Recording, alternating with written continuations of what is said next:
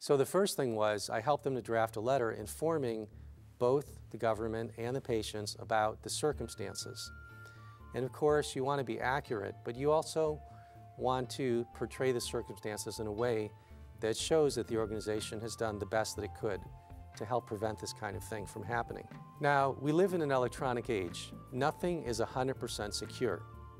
But it's important to know what your compliance obligations are and to show that you've done a reasonably good job of trying to meet them. So thankfully, again, that some of the basics were in place. They were a long way from being compliant, but I didn't think that they were guilty of willful neglect either. This was a first-time violation, and so the hope was that all they would get would be a regulatory slap on the wrist.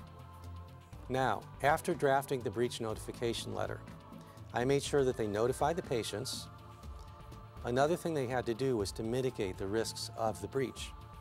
And so they offered the patients two years of free identity theft protection to help them with all the consequences. Because if you're a patient and you get a letter saying that your name, your address, your social security, the name of your minister, your, your treatments, everything's been compromised, you're going to be worried. So they had to do something to help these patients live with that fear and mitigate the consequences to the best they could.